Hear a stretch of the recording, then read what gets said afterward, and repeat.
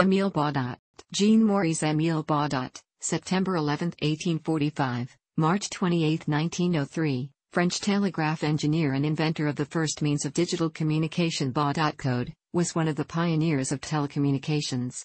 He invented a multiplexed printing telegraph system that used his code and allowed multiple transmissions over a single line.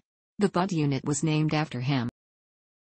Baudot was born in Magneux, Haute-Marne, France, the son of farmer Pierre-Émile Baudot, who later became the mayor of Magneux. His only formal education was at his local primary school, after which he carried out agricultural work on his father's farm before joining the French Post and Telegraph Administration as an apprentice operator in 1869. The telegraph service trained him in the Morse telegraph and also sent him on a four-month course of instruction on the Hughes printing telegraph system, which was later to inspire his own system. After serving briefly during the Franco-Prussian War, he returned to civilian duties in Paris in 1872. The telegraph service encouraged Baudot to develop, on his own time, a system for time multiplexing several telegraph messages using Hughes teleprinters. He realized that with most printing telegraphs of the period the line is idle for most of the time, apart from the brief intervals when a character is transmitted. Baudot devised one of the first applications of time division multiplexing in telegraphy. Using synchronized clockwork-powered switches at the transmitting and receiving ends, he was able to transmit five messages simultaneously, the system was officially adopted by the French Post and Telegraph Administration five years later. Baudot invented his telegraph code in 1870 and patented it in 1874. It was a 5-bit code, with equal on and off intervals, which allowed telegraph transmission off the Roman alphabet, punctuation and control signals. By 1874 or 1875, various sources give both dates, he had also perfected the electromechanical hardware to transmit his code. His inventions were based on the printing mechanism from Hughes Instrument, a distributor invented by Bernard Meyer in 1871, and the five-unit code devised by Carl Friedrich Gauss and Wilhelm Weber. Baudot combined these, together with original ideas of his own, to produce a complete multiplex system.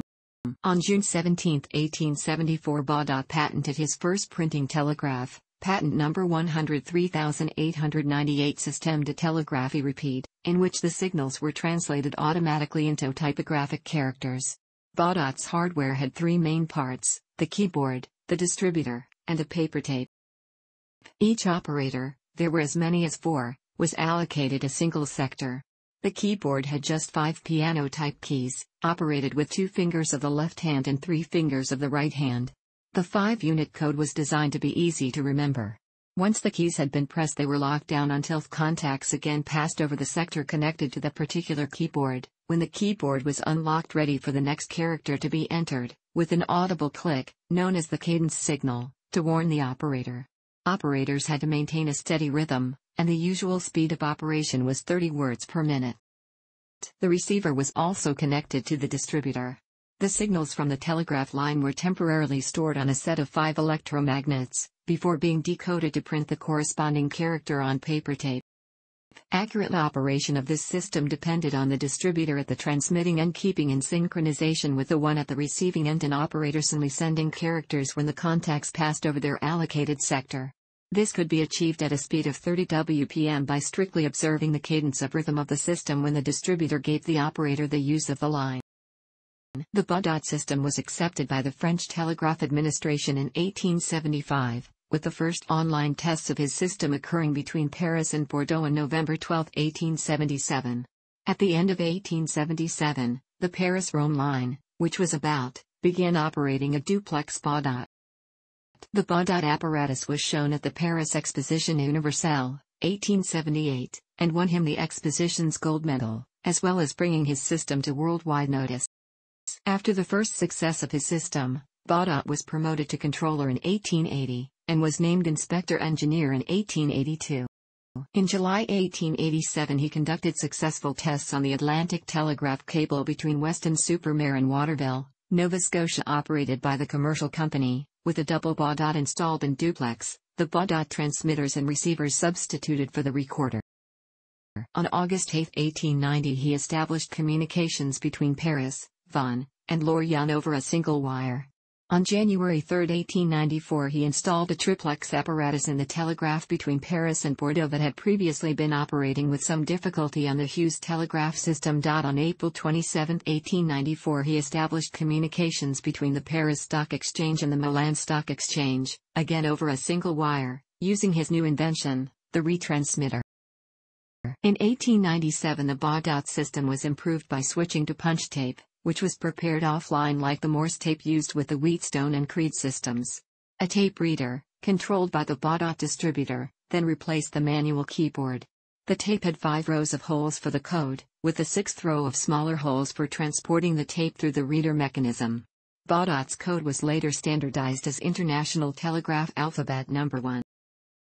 Baudot received little help from the French Telegraph Administration for his system, and often had to fund his own research, even having to sell the gold medal awarded by the 1878 Exposition Universelle in 1880.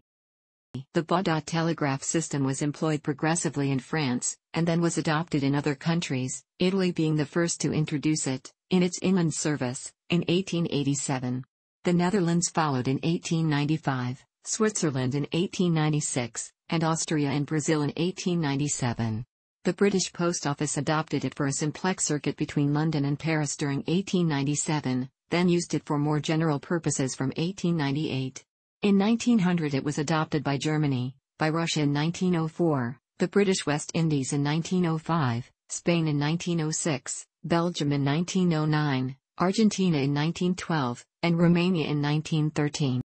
Baudot married Marie Josephine Adelaide Langrognet on January 15, 1890. She died only three months later, on April 9, 1890.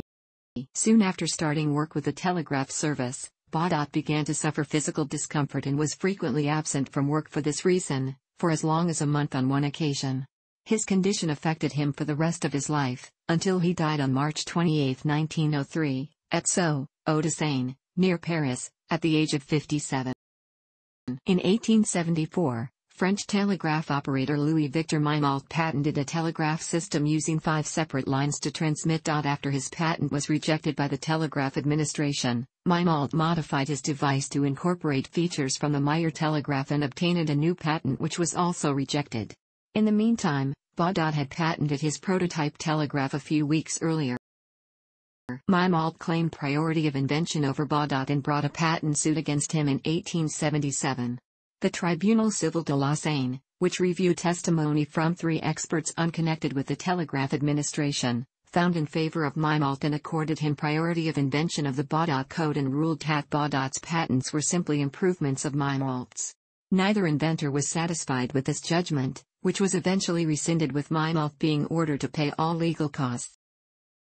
Mimault became unnerved because of the decision, and after an incident where he shot at and wounded two students of the École Polytechnique, charges for which were dropped, he demanded a special act to prolong the duration of his patents, 100,000 francs, and election to the Légion d'Honneur. A commission directed by Jules Raynaud, head of telegraph research, rejected his demands. Upon hearing the decision, Mimault shot and killed Raynaud, and was sentenced to 10 years forced labor and 20 years of exile. Thanks for watching. Don't forget like the video and don't forget to subscribe.